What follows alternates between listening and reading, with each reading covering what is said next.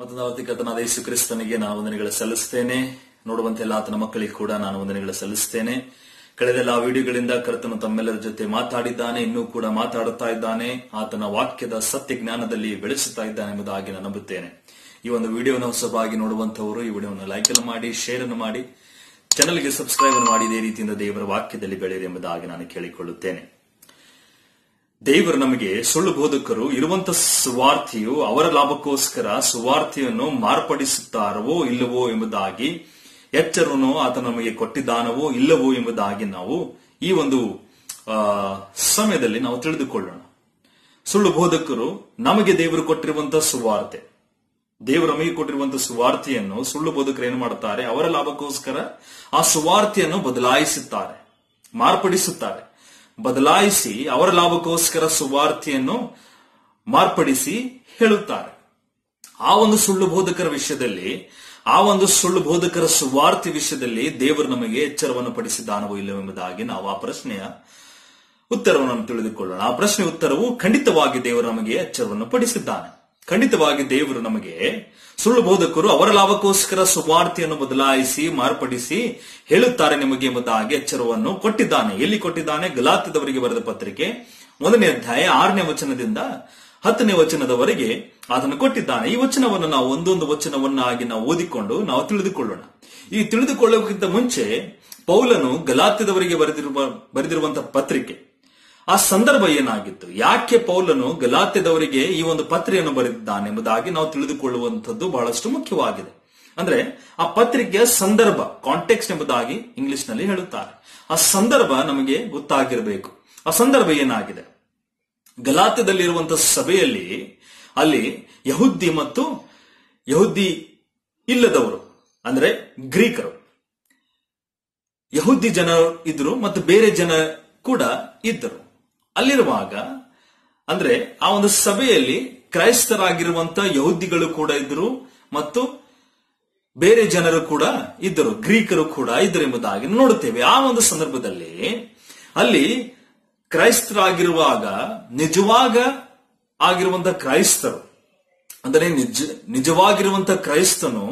ಏನು ಮಾಡುತ್ತಾನೆ ಹಳೆಯ ನುಡಿಕೆನಲ್ಲಿ ದೇವರು ನಮಗೆ ಕೊಟ್ಟಿರುವಂತಹ ಧರ್ಮಶಾಸ್ತ್ರದ ನಿಯಮಗಳು ಕೂಡ ಪಾಲಿಸುತ್ತಾನೆ ಹಳೆ ಒಳಮಡಿಕಿನಲ್ಲಿ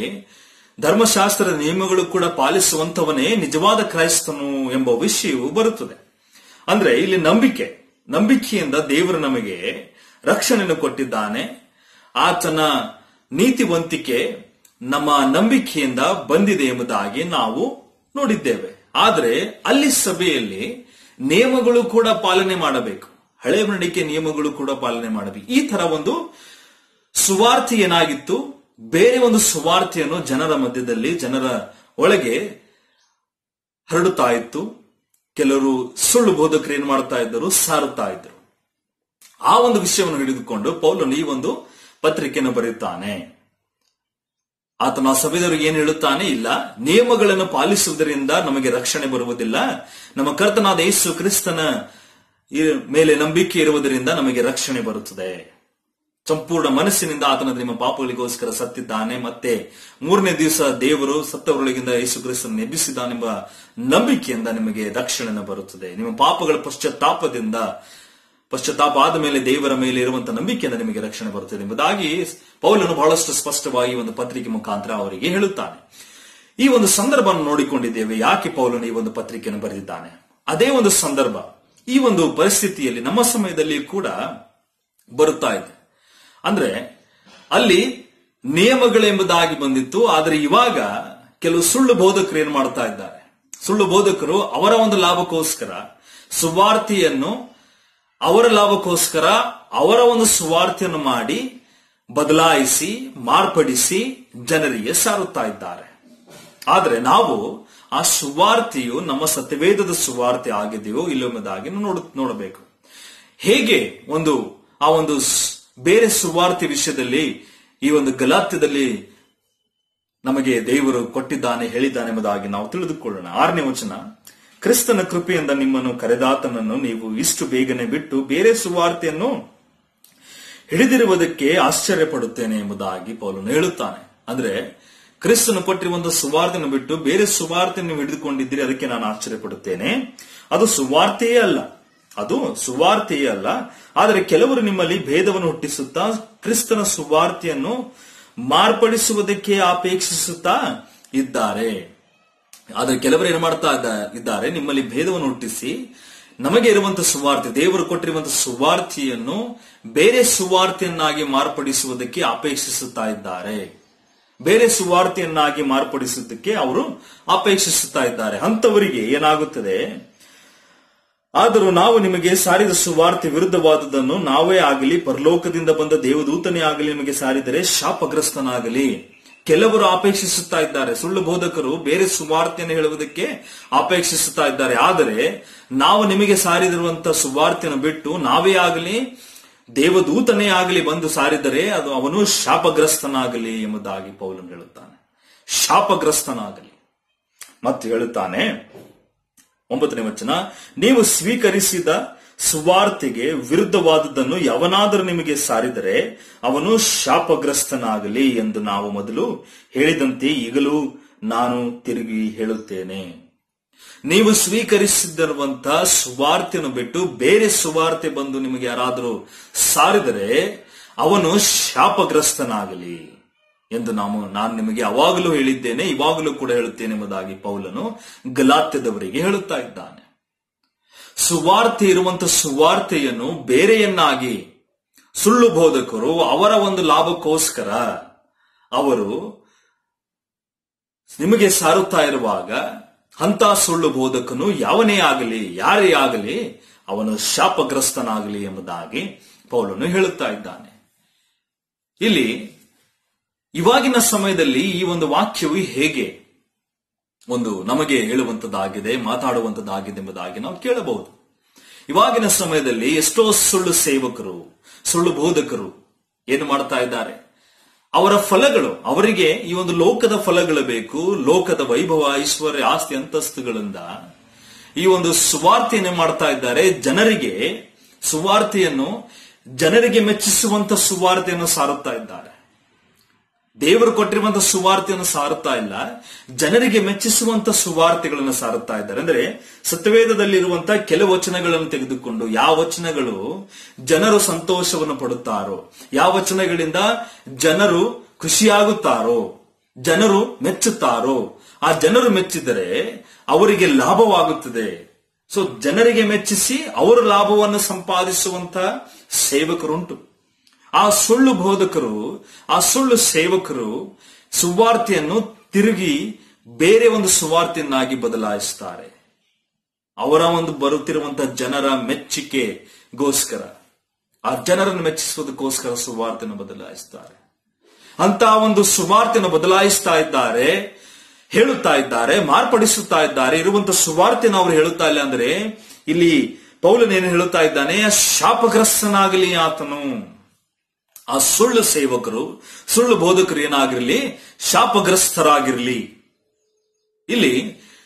ಹೇಗೆ ಒಂದು ಜನರಿಗೆ ಮೆಚ್ಚುಗೆ ಆಗಿರುವಂತಹ ಸುವಾರ್ತೆಯನ್ನು ಸಾರುತ್ತಾ ಇದ್ದಾರೆ ಇಲ್ಲಿ ಎಂಬುದಾಗಿ ನೀವು ಕೇಳಬಹುದು ಅದಕ್ಕೋಸ್ಕರವೇ ಇಲ್ಲಿ ಪೌಲನು ಮುಂದಿನ ವಚನದಲ್ಲಿ ಹೇಳುತ್ತಾನೆ ಅಂದರೆ ಹತ್ತನೇ ವಚನದಲ್ಲಿ ಇಲ್ಲಿ ಹತ್ತನೇ ವಚನದಲ್ಲಿ ಬಹಳಷ್ಟು ಸ್ಪಷ್ಟವಾಗಿ ಹೇಳುತ್ತಾನೆ ಕೇಳಿರಿ ನಾನೀಗ ಯಾರನ್ನು ಒಲಿಸಿಕೊಳ್ಳುತ್ತಾ ಇದ್ದೇನೆ ಪೌಲನು ತನ್ನನ್ನು ಒಲಿಸಿಕೊಂಡು ಹೇಳುತ್ತಾ ಇದ್ದಾನೆ ನಾನೀಗ ಯಾರನ್ನು ಒಲಿಸಿಕೊಳ್ಳುತ್ತಾ ಇದ್ದೇನೆ ಮನುಷ್ಯ ಕುಮಾರನು ಮನುಷ್ಯ ಕುಮಾರನು ಮನುಷ್ಯರನ್ನು ದಯವಿಟ್ಟು ಕ್ಷಮಿಸಿ ಮನುಷ್ಯರನ್ನು ದೇವರನ್ನು ಎಂಬುದಾಗಿ ಇವಾಗ ನಾನು ಯಾರನ್ನು ಒಲಿಸಿಕೊಳ್ಳುತ್ತಾ ಇದ್ದೇನೆ ಯಾರನ್ನು ನಾನು ಮೆಚ್ಚಿಸುತ್ತಾ ಇದ್ದೇನೆ ಮನುಷ್ಯರನ್ನು ದೇವರನ್ನು ಎಂಬುದಾಗಿ ಪೌಲನು ಕೇಳುತ್ತಾ ಇದ್ದಾನೆ ನಾನು ಮನುಷ್ಯರನ್ನು ಮೆಚ್ಚಿಸುವುದಕ್ಕೆ ಪ್ರಯತ್ನಿಸುತ್ತಾ ಇದ್ದೇನೋ ನಾನು ಮನುಷ್ಯರನ್ನು ಮೆಚ್ಚಿಸುವುದಕ್ಕೆ ಪ್ರಯತ್ನಿಸುತ್ತಾ ಇದ್ದೇನೋ ಇನ್ನೂ ಮನುಷ್ಯರನ್ನು ಮೆಚ್ಚಿಸುವನಾಗಿದ್ದರೆ ನಾನು ಕ್ರಿಸ್ತನ ದಾಸನಲ್ಲ ಈ ವಾಕ್ಯಗಳನ್ನು ಯಾಕೆ ಪೌಲನ್ನು ಉಪಯೋಗಿಸಿಕೊಳ್ಳುತ್ತಾ ಇದ್ದಾನೆ ಯಾಕೆ ಹೇಳುತ್ತಾ ಇದ್ದಾನೆ ಅಂದ್ರೆ ಅಲ್ಲಿರುವಂತಹ ಸುಳ್ಳು ಬೋಧಕರು ಸುಳ್ಳು ಸೇವಕರು ಏನು ಮಾಡ್ತಾ ಇದ್ರು ಅವರಿಗೆ ಬೇಕಾಗಿರುವಂತಹ ಲಾಭಕ್ಕೋಸ್ಕರ ಸುವಾರ್ತಿಯನ್ನು ಜನರಿಗೆ ಮೆಚ್ಚಿಸಿ ಅವರ ಲಾಭವನ್ನು ತೆಗೆದುಕೊಳ್ಳುತ್ತಾ ಇದ್ದರು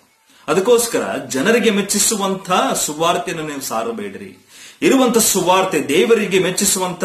ದೇವರು ಕೊಟ್ಟಿರುವಂತಹ ಸುವಾರ್ತೆಯನ್ನು ನೀವು ಸಾರಿರಿ ನಾನು ಹೇಗೆ ಸಾರಿದ್ದೇನೆ ನಿಮಗೆ ನಾನು ಜನರಿಗೆ ಮೆಚ್ಚಿಸುವಂತ ಸುವಾರ್ತೆಯನ್ನು ಸಾರಿದ್ದೇನೋ ನಾನು ಯಾರಿಗೆ ಮೆಚ್ಚಿಸಬೇಕು ಜನರನ್ನು ನಾನು ಮೆಚ್ಚಿಸಬೇಕು ಇಲ್ಲ ದೇವರನ್ನು ನಾನು ಮೆಚ್ಚಿಸಬೇಕು ಒಂದು ವೇಳೆ ನಾನು ಮನುಷ್ಯರನ್ನು ಮೆಚ್ಚಿಸುವನಾಗಿದ್ದರೆ ನಾನು ಕ್ರಿಸ್ತನ ದಾಸನೇ ಅಲ್ಲ ಎಂಬುದಾಗಿ ತಿಳಿದುಕೊಳ್ಳಿರಿ ನಾನು ಜನರನ್ನು ಮೆಚ್ಚಿಸುವಂತ ಸುವಾರ್ತೆಯನ್ನು ನಾನು ಸಾರಿದರೆ ಕ್ರಿಸ್ತನ ದಾಸನೇ ಅಲ್ಲ ನಾನು ಜನರನ್ನು ಮೆಚ್ಚಿಸುವಂತ ಸುವಾರ್ತೆಯನ್ನು ನಾನು ಸಾರುವುದಿಲ್ಲ ನಾನು ಸಾರಿದರೆ ನಾನು ಕೂಡ ಅದನ್ನು ಸಾರಿದರೆ ನಾನು ಕ್ರಿಸ್ತನ ದಾಸನೇ ಅಲ್ಲ ಎಂಬುದಾಗಿ ಪೌಲನು ಬಹಳಷ್ಟು ಸ್ಪಷ್ಟವಾಗಿ ಹೇಳುತ್ತಾ ಇದ್ದಾನೆ ಇಲ್ಲಿ ಯಾಕೆ ಹೇಳುತ್ತಾ ಇದ್ದಾನೆ ಅಂದ್ರೆ ಅಲ್ಲಿರುವಂತ ಸಭೆಯಲ್ಲಿ ಅವರ ಲಾಭಕ್ಕೋಸ್ಕರ ಸುವಾರ್ತೆಯನ್ನು ಮಾರ್ಪಡಿಸುತ್ತಾ ಇದ್ರು ಇವಾಗಲೂ ಕೂಡ ಸಮಯದಲ್ಲಿ ಜನರು ಜನರಿಗೆ ಬೇಕಾಗಿರುವಂತಹ ಕೆಲವು ವಚನಗಳು ಖುಷಿ ಪಡಿಸ್ತಿರುವಂತಹ ಕೆಲವು ವಚನಗಳು ಸಂತೋಷವನ್ನು ಪಡಿಸ್ತಿರುವಂತಹ ಕೆಲವು ವಚನಗಳನ್ನು ಮಾತ್ರ ಇವಾಗ ಸುಳ್ಳು ಸೇವಕರು ಸುಳ್ಳು ಬೋಧಕರು ಏನು ಮಾಡ್ತಾ ಇದ್ದಾರೆ ತೆಗೆದುಕೊಂಡರು ಜನರಿಗೆ ಅದನ್ನೇ ಹೇಳಿ ಜನರನ್ನು ಮೆಚ್ಚಿಸುತ್ತಾ ಇದ್ದಾರೆ ಜನರನ್ನು ಮೆಚ್ಚಿಸಿ ಮೆಚ್ಚಿಸಿ ಆ ಜನರಿಂದ ಲಾಭವನ್ನು ತೆಗೆದುಕೊಳ್ಳುತ್ತಾ ಇದ್ದಾರೆ ಅಂತ ಲಾಭವನ್ನು ತೆಗೆದುಕೊಳ್ಳುವಂತಹ ಆ ಸುಳ್ಳು ಬೋಧಕರು ಸುಳ್ಳು ಸೇವಕರು ದಾಸರೇ ಅಲ್ಲ ಅಂದ್ರೆ ಏಸು ಕ್ರಿಸ್ತನ ದಾಸರೇ ಎಲ್ಲ ಎಂಬುದಾಗಿ ಬಹಳಷ್ಟು ಸ್ಪಷ್ಟವಾಗಿ ವಾಕ್ಯದಲ್ಲಿದೆ ವಾಕ್ಯದಲ್ಲಿದೆ ನೀವು ಓದ್ರಿ ನಾವು ಕಳೆದ ವಿಡಿಯೋದಲ್ಲಿ ನಾವು ನೋಡಿಕೊಂಡಿದ್ದೇವೆ ಸುಳ್ಳು ಪ್ರವಾದಿಗಳು ಸುಳ್ಳು ಬೋಧಕರ ವಿಷಯದಲ್ಲಿ ಎಚ್ಚರವಾಗಿರಬೇಕೆಂಬುದಾಗಿ ಏನಾಗಿದೆ ಆಜ್ಞೆ ಆಗಿದೆ ಅದೇ ಆಜ್ಞೆಯ ಮೇರೆಗೆ ಈ ವಾಕ್ಯವನ್ನು ಕೂಡ ನಾವು ಬಹಳಷ್ಟು ಸ್ಪಷ್ಟವಾಗಿ ತಿಳಿದುಕೊಂಡು ಬೇರೆ ಏನು ಸುವಾರ್ತೆಯಾಗಿದೆ ಯಾ ಸುವಾರ್ತೆ ಸಿ ಒಂದು ಸೇವಕರು ಸಾರುತ್ತಾ ಇದ್ದಾರೆ ಆ ಸುವಾರ್ತೆ ಅವರು ಸಾರುವುದರಿಂದಲೇ ಗೊತ್ತಾಗುತ್ತದೆ ಅವರು ಸುಳ್ಳು ಬೋಧಕರಿದ್ದಾರೋ ಸುಳ್ಳು ಪ್ರವಾದಿಗಳಿದ್ದಾರೋ ಇಲ್ಲವೋ ಎಂಬುದಾಗಿ ಅವರ ಲಾಭಕ್ಕೋಸ್ಕರ ಸುವಾರ್ತೆಯನ್ನು ಬದಲಾಯಿಸುವಂತವರಾಗಿದ್ದಾರೆ ನೀವೆಚ್ಚರವಾಗಿರಬೇಕು ನೀವೆಚ್ಚರವಾಗಿರಬೇಕು ಒಂದು ವೇಳೆ ಅಂತಹ ಸೇವಕರನ್ನು ನೀವು ಹಿಂಬಾಲಿಸ್ತಾ ಇದ್ದರೆ ತಿರುಗಿಕೊಳ್ಳಿರಿ ಎಂಬುದಾಗಿ ತಿರುಗಿಕೊಳ್ಳಿರಿ ಇವಾಗ ನಿಮಗೆ ಪ್ರಶ್ನೆ ಬರುತ್ತಾ ಇರಬಹುದು ಇಷ್ಟೆಲ್ಲ ಆದ್ರೆ ಮತ್ತೆ ಸ್ವಾರ್ಥಿ ಏನಾಗಿದೆ ಖಂಡಿತವಾಗಿ ನಿಮಗೆ ಪ್ರಶ್ನೆ ಬರುತ್ತದೆ ಯಾಕಂದ್ರೆ ನೀವು ಇಲ್ಲಿ ತನಕ ಎಷ್ಟೋ ಪ್ರಸಂಗಗಳು ನೀವು ಕೇಳಿರಬಹುದು ಎಲ್ಲಾ ಪ್ರಸಂಗಗಳಲ್ಲಿ ನಿಮಗೆ ಖುಷಿಯಾಗಿರುತ್ತವಂತ ನಿಮಗೆ ಮೆಚ್ಚುಗೆ ಆಗಿರುವಂತಹ ಪ್ರಸಂಗಗಳು ದೇವರ ವಾಕ್ಯಗಳನ್ನು ನೀವು ಕೇಳಿದ್ದೀರಿ ಆದರೆ ಸುವಾರ್ತೆ ಏನಾಗಿದೆ ಎಂಬುದಾಗಿ ಆ ಒಂದು ನೀವು ಹಿಂಬಾಲಿಸ್ತಿರುವಂತಹ ಸೇವಕರು ನಿಮಗೆ ಹೇಳೇ ಇಲ್ಲ ಆದರೆ ಸುವಾರ್ತೆ ಏನಾಗಿದೆ ಎಂಬುದಾಗಿ ನೀವು ತಿಳಿದುಕೊಳ್ಳಬೇಕು ಸುವಾರ್ತೆ ಏನಾಗಿದೆ ನಮ್ಮ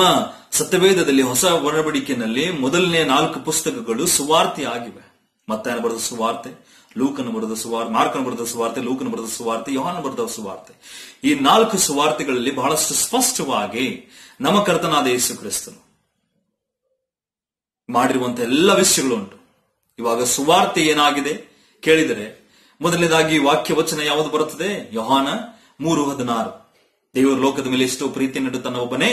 ಮಗನನ್ನು ಕೊಟ್ಟನು ಆತನನ್ನು ನಂಬುವ ಒಬ್ಬನಾದ ನಾಶವಾಗದೆ ಎಲ್ಲರೂ ನಿತ್ಯ ಜೀವ ಪಡಿಬೇಕೆಂದು ಆತನನ್ನು ಕೊಟ್ಟನು ಎಂಬುದಾಗಿ ಆದರೆ ತಂದೆಯಾದ ದೇವರು ಯೇಸು ಕ್ರಿಸ್ತನನ್ನು ಕೊಟ್ಟನು